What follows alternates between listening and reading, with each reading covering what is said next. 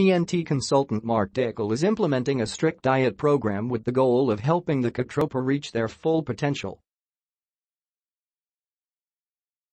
Recently hired by TNT out of New Zealand to institute changes in the team, not just on the court but off it, Dickel has implemented a no-carbohydrates diet to keep the players in top shape in a lengthy PBA season.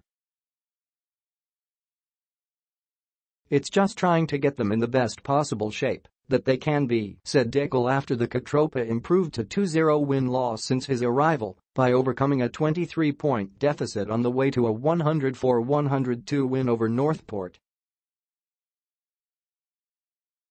It's a little bit difficult for the players over here because they play all year round.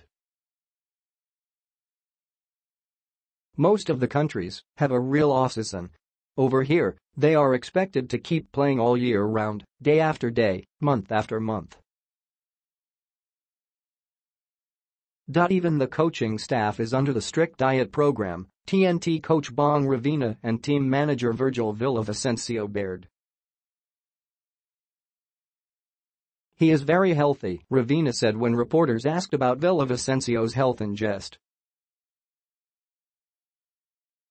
In fact, Naka diet kami. No carbs. Aside from decreasing the carbo intake of the players, Dickel said he has shortened the practice of the team. For me, it's trying to make practices a little bit shorter, but focusing on what they are eating and what they are not eating. There has been a focus on diet, but it's just them increasing their intensity in practice so that they can be in better, better shape, said Dickel. That has been the key. Just trying to make sure to be focused, disciplined, and hopefully, it transfers to the court, he added.